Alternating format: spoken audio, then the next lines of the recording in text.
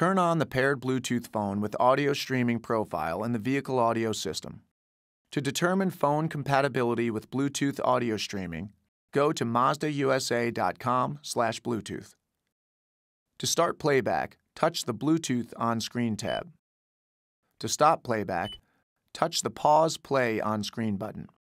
Touch the button again to resume playback. With a Pandora Internet Radio account and the Pandora app installed on your Bluetooth phone, you can play and operate Pandora using the vehicle audio system controls. To listen to Pandora, touch the Pandora on-screen tab. To stop playback, touch the Pause Play on-screen button.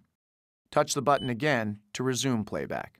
To skip a song, touch the Fast Forward on-screen button. To select a station from your programmed list, touch the Stations on-screen button. Then select the desired station. To like a song, touch the Thumbs Up on-screen button. To dislike a song, touch the Thumbs Down on-screen button.